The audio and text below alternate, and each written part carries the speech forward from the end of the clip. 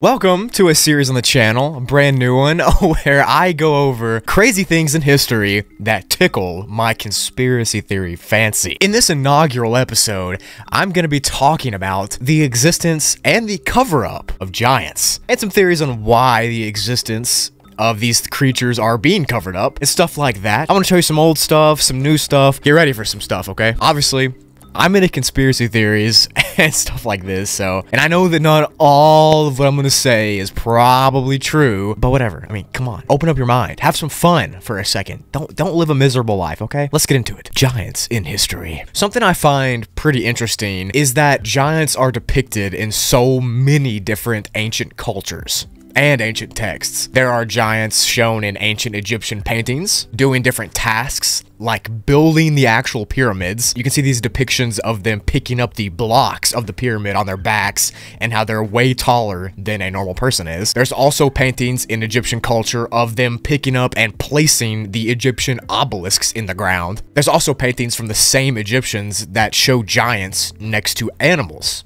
like giraffes. And we know the giraffes are huge, and this giant is as big as the giraffe, right? But Egypt is by no means the only ancient civilization that talks about giants. In fact, I won't even be able to talk about all the civilizations that do. There's so many of them, but I am going to hit the high points. There's mention of giants in the ancient epic, the Ramayana. There's also mention, of course, in Sanskrit tales and Sumerian tales, as well as the Bible and in many other cultures. We're going to get into all that right now. The Sumerians have a pretty interesting history when it comes to giants. The Anunnaki, which were normally associated with gods or creators or angels, that kind of thing, were giants. There are a few huge parallels between the Anunnaki stories and the other stories from the Sumerians and the Bible. Like, it's scary how similar some of these things are. So, one of the main parallels between the Sumerian texts and the Bible text is that the Sumerian giants, the Anunnaki, were gods who chose to live on the earth, right? They were these giant creatures who made the conscious decision to live here on the earth, and that's in the Sumerian texts. In the Bible, giants like Goliath descended from the Anakites, which were a race of giants that came from fallen angels breeding and having children with the daughters of man, the women of the earth. This is referred to as the Nephilims, and we'll get into some more crazy crazy stuff about that. In the Sumerian text, that the giants came from these gods and they were gods and they chose to live here, you think it's a coincidence that the Bible mentions practically the same thing. Fallen angels from heaven choosing to have children with women on the earth and those the children being giants and they living here. It's, it's such a similar story in very similar texts. Pretty cool. In Genesis 6 verse 4, it says, quote, There were giants in the earth in those days, and also after that, when the sons of God came unto the daughters of men, and they bare children to them.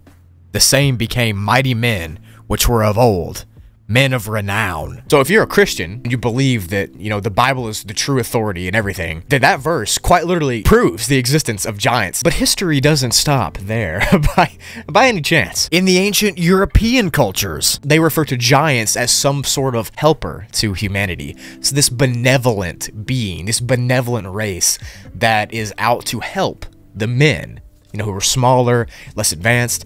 They, they said that these giants help them build their monolithic structures. They were called the Jentilak, which kind of means someone who wasn't Jewish. They're mentioned in the Basque mythology, and the Jentilak were around 12 feet tall.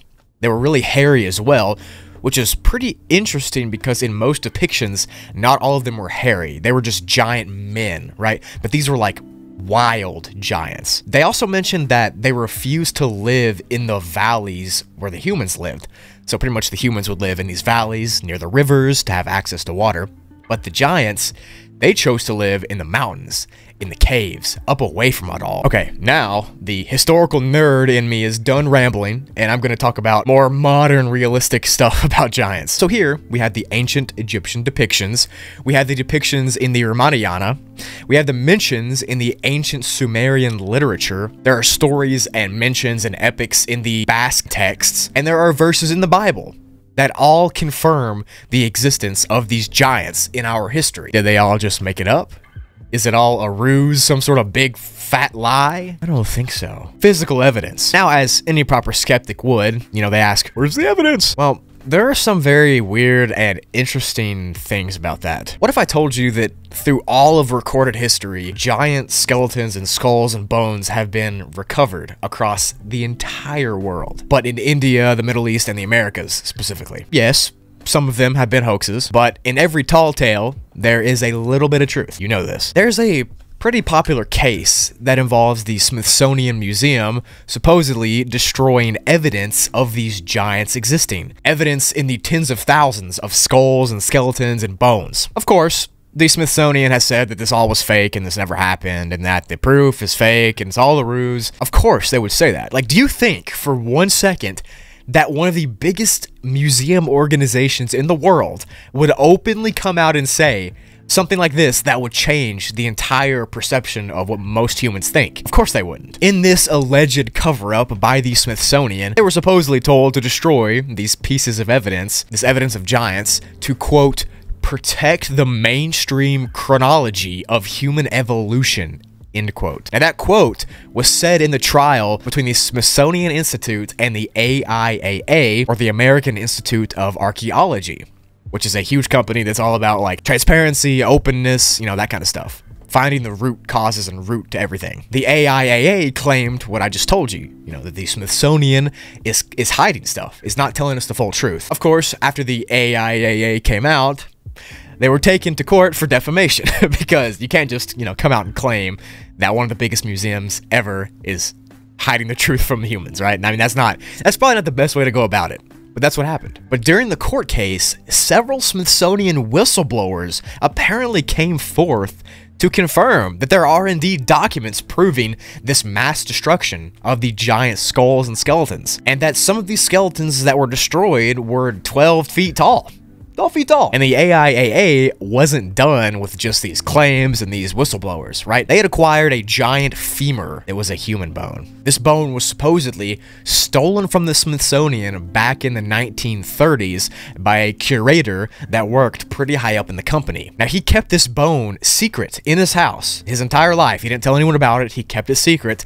And on his deathbed, he admitted about the Smithsonian cover-up. He said, quote, we are hiding the truth about the forefathers of humanity, our ancestors, the giants who roamed the earth, as recalled in the Bible and in ancient texts of the world. Wow. Now let's pretend for one second that that quote was real. You have to imagine how paradigm shifting this information would be if it in fact did come out and if, if this all was true. The typical evolutionary rhetoric, if people believe in that, if they were told that giants did in fact exist and that humanity is descendants of giants or something along those lines, that would be a paradigm shifting in our entire understanding of everything. It would change a lot, it would shake it up a lot, and they don't want that right? That's what they don't want. The ruling of this court case was that the Supreme Court ordered the Smithsonian to release any documents that pertain to the things I just told you. But now, the Smithsonian and many online sources and other sources are claiming that all the pictures you've been seeing are hoaxes, photoshops, bad renders,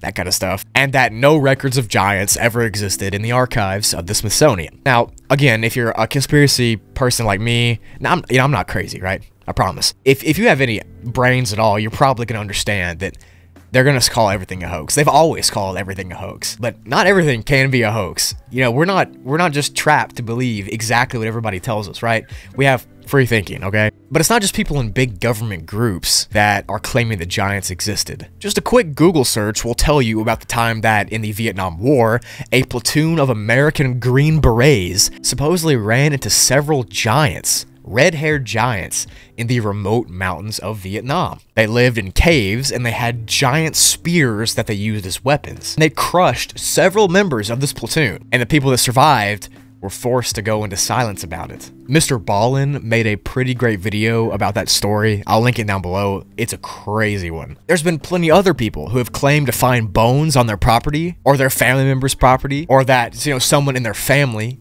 found skeletons and it was taken away. There's so many things that have been passed down that say that people have found these giant skeletons. I'm sure, obviously, some of it is fake, not everything is true, but not everything is fake either. And that's what you gotta understand, skeptics. So why cover it all up? What do you gain from doing this? Well, as I said earlier, there are tons of theories of the actual reasons behind these cover-ups. One is that, you know, they're hiding the existence of these giants because in some ways it would prove that the Bible and other ancient texts are real and that the contents inside of them were indeed truthful and that these giants will go against the modern rhetoric taught about normal evolution. Skeptics of these theories that I've talked about seem just to bash all people who believe in the idea that giants ever existed. Like, specifically the giant theory. You know, there's other theories that they don't really get mad at, but this theory specifically, man, I saw like online, people get like really angry at those who believe that these might be true. But to those kind of people, I say,